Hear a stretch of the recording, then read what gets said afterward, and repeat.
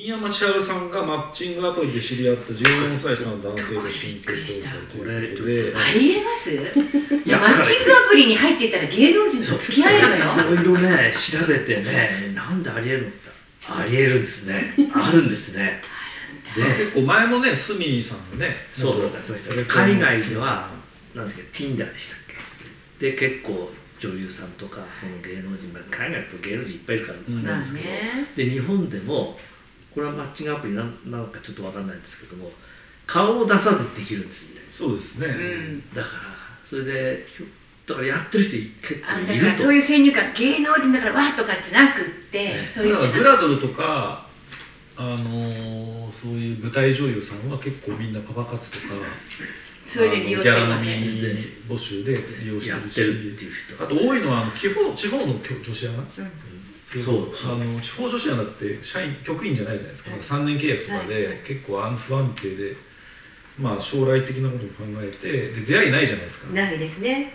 だから結構身分隠して佐々木さんもおっしゃる身分隠して顔写真も出さないでなんかその周辺の土地で会える人を探すらしいんですよ。その自分が働いてる土地だとコミュニティ様にバレちゃうんで、うんうんうん。例えば石川県の人だったら例えば富山とか福井の金持ちを探したりとかするらしいんですよ。はあ。でもそれは分かるんですけど彼女だと大手の事務所です事か？ら務所ですよ。そうだからさすがに新山さんはねだからホリプロさんだからだからずそんなことありえるのかなと思って最初はうん。これステマかな？っうん。ていうマッチングアプリ。ね。うん。マッチングアプリのそのこのまあ、あのこ広告とか宣伝、番組で紹介するっていうかあの、ん。全部話すみたいなこと言ってたんで、うん。ひょっとしたらそのアプリのねあの、うん。出てくるのかなと思ったらそうではないっていううち本人がねまたあのブログっていうか自分の番チャンネルでそう言ってましたから。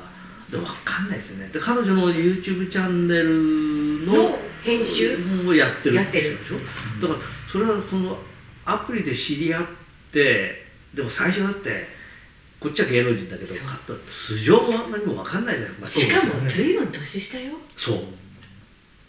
なんかちょっと20代よ。なんかちょっとね後半かだかは20代だから。ねこれ希望我々は希望を抱くことができるのかっていう話になるんですけどどうなんですか？あ そっち？じゃあだってだからまあ彼女の場合はやっぱりほらシングルマザーで、まあ、離婚歴ねあのちょそうですね。ジャイアンツにいたね、あの黒田さんだったっけ？うん、そうですね。元はい、うん。野球選そう。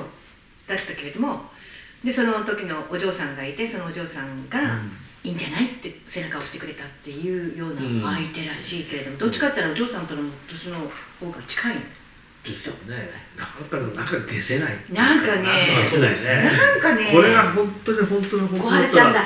タレント活動して私はるんですよ。今田美桜さんと付き合うことができるのかなってできません。考え考えちゃうんできません。ないかでもマッチングアプリの中には年収証明もあるやつあるんで。そう自分の年収が何千万ありますって証明すあるの今ちょっと流行りのあのおじさん向けのやつそうありますパパ活サイトとか多いですねパパ活サイトもね。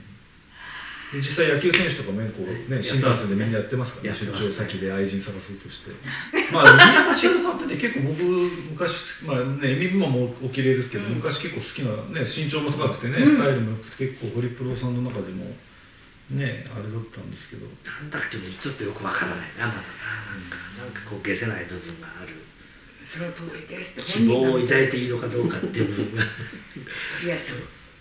佐々木さんが誰とマッチングアプリしようかそういう問題じゃなくて新山千春はなぜそれをしたかっていうところが。それはでもねノーベル賞のキングですから。あそうですねノーベル賞優勝おめでとうございます。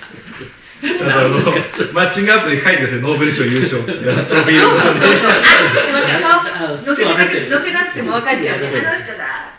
なぜだろうね。なぜそうなのよそんなそんなになんかこうし知り合いたかったのか。単にだからそういうなんですか婚活サイトではなくそのいろんな人と知り合いたいと思まあったのフェイスブックかみたいなノリでやってたのかなんわかんないですけどね。たのかその自分のその YouTube チャンネル開設にあたってうん。なんかその手伝ってくれる人を探してやってたのかっていう、うん。でもママッチングアプリじゃなくてそれは人づてっていうかね、うん。自分の知り合い。に相談してねったりとかなんかすれば出てくるようなものだからねなんですかね。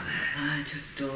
ちょっと。まだ本当のこと言ってないよないような気がするんですね。なんか裏がありそうなね、うん